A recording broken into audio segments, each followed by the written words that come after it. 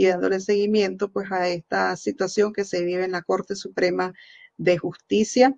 Em, que el contenido, pues le estoy diciendo, se está llegando y se está leyendo mucho porque eh, hay gran interés de parte de, de todos los trabajadores del Estado. Esto los mantiene a cada trabajador del Estado pendiente, porque en cualquier momento esto que está pasando en la Corte Suprema de Justicia le llega a cualquier ministerio igualito, igualito.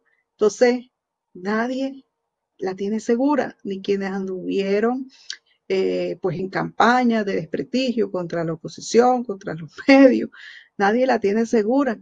Y no es de alegrar porque uno no le desea mal a nadie, sino que es de un momento de reflexión profunda para todos los trabajadores del Estado, ¿verdad?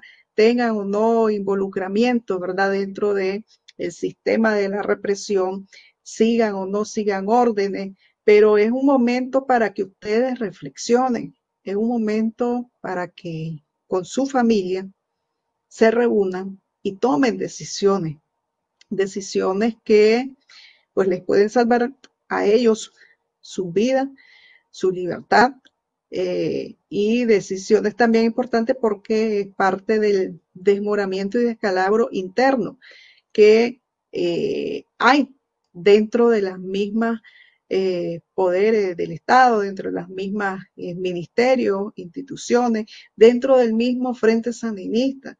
O sea, reflexión para quienes se ponen todas las camisetas rojineiras, rosado chicha, que andan en todas las marchas, que gritan eh, los vivas a Ortega y a Murillo, que ofenden y traen el conflicto con gente de la oposición que tal vez se han alegrado del mal, de las confiscaciones, de los destierros, de, de la censura, de la persecución a la iglesia, pues más bien como cristiana les digo, pues reflexionen, ya ven que nadie se les escapa a los Ortega Murillo, permítanme.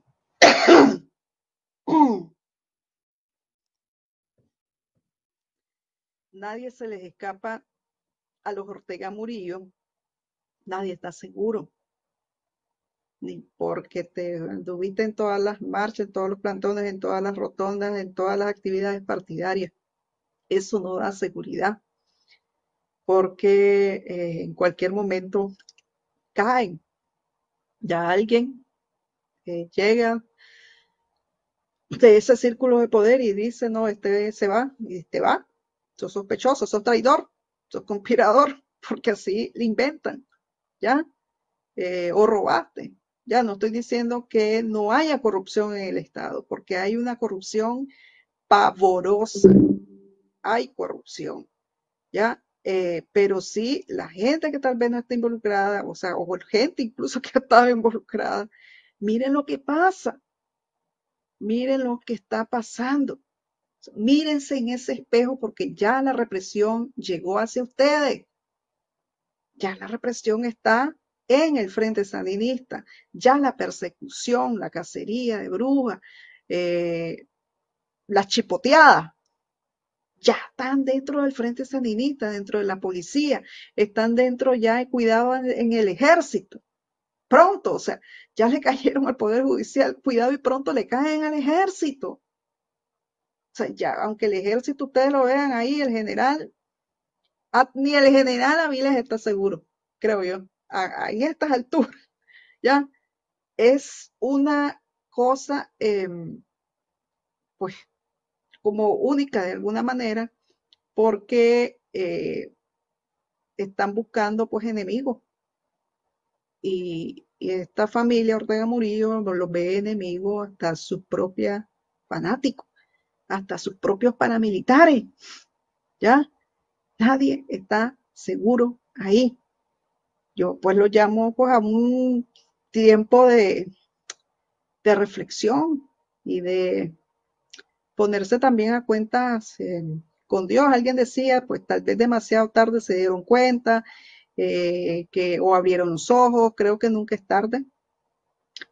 yo soy de las que pienso que no es tarde, ¿verdad? Para abrir los ojos, reflexionar y, y pedirle perdón a Dios o a tu hermano, tu amigo, tu familiar a quien le ofendiste en algún momento, ¿ya? Eh, creo que eh, es ese momento que tienen que, que tomarlo eh, en serio y tomar obviamente decisiones en familia para salvar ustedes mismos sus vidas y su libertad. Gracias a todos que estuvieron en este espacio, en 100% Superchat, a quienes participaron en, en YouTube, en el Facebook de 100% Noticias. Pueden también dejar siempre sus donativos, los super gracias, los super thanks. Por su atención, muchísimas gracias.